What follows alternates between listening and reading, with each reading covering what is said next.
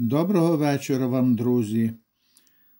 Говоримо знову про лікарські рослини. Хто забув підписатися на мій канал, підписуйтесь. У даному відео піде мова про півонії, які називаються ще Мар'їн корінь. Ну, Будемо говорити про лікувальні властивості і про виготовлення смачного і лікувального вина із квітів е, півоній. Півонія е, походить із американських країв. Трапляється вона в Євразії, але найбільше нам відома як декоративна культура. Всі квітникарі е, мають на своїх е, квітниках півонії, бо вони дуже вигідні тим, що вони багаторічні, мало з ними мороки, не дуже вибагливі і милують око, е, зацвітаючи е, десь у червні, на початку, декуди у травні навіть. Е, мають різнокольорове забарвлення від білого кольору до е, рожевого і червоного. Отже, е, півонія має лікувальні властивості як пелюстки, так і коріння, але збирають пелюстки ранньої, коріння ранньою весною чи пізно восени а пелюстки якраз під час цвітіння. Е, що варто сказати? Фівонія діє як седативний засіб при неврастенічних станах, особливо дуже допомагає при безсон, при різних стресах.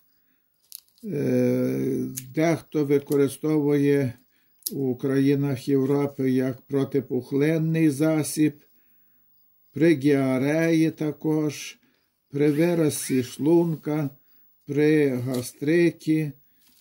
Е, півонія лікує різні кровотечі.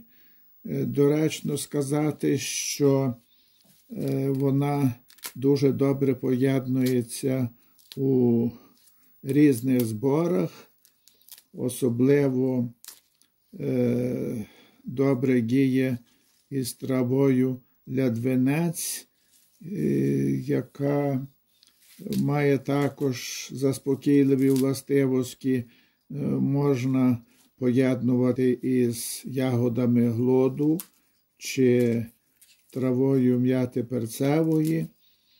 Ну, е, варто сказати, що українські травознаї е, півонію мало використовували і у лікарських збірниках е, Попова лікарській медицині, Івана Носаля від рослини до людини, чи навіть Євгена Товстухи фітотерапія про півонію нічого не говориться.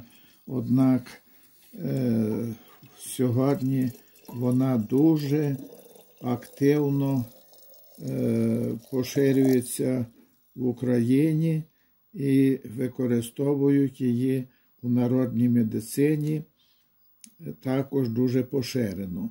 У е, даному випадку хочеться ще сказати е, коротко про вино, яке можна виготовляти із квіток півоній.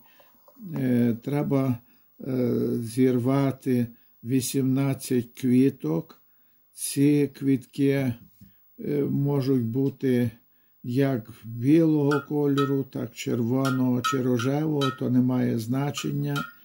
Для приготування вина потрібно дві з половиною ложки лимонної кислоти, або краще брати сік із лимона, Е, для цього потрібно 340 грамів цукру, 2,7 е, літра води, ну і, звичайно, хірургічні латексичні рукавички. Ці рукавички будемо використовувати при самому ферментуванні нашого вина.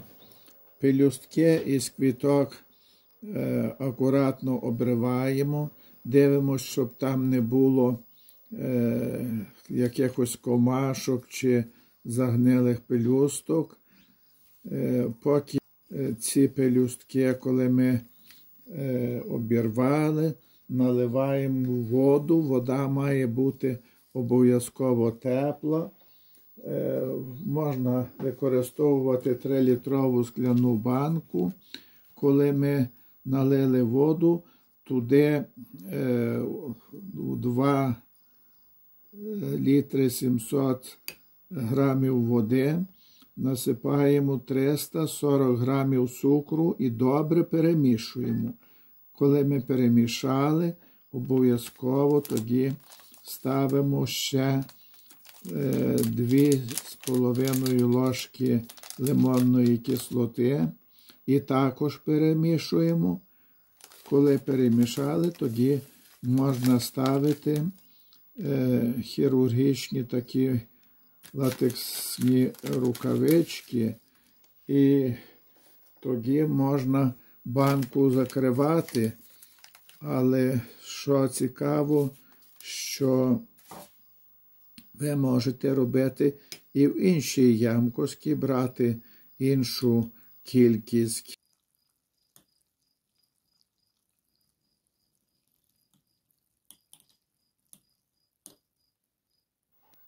Це вино має ферментувати е, в основному півтора місяця, потім його можна перелити в темні пляшки і зберігати собі у погребі.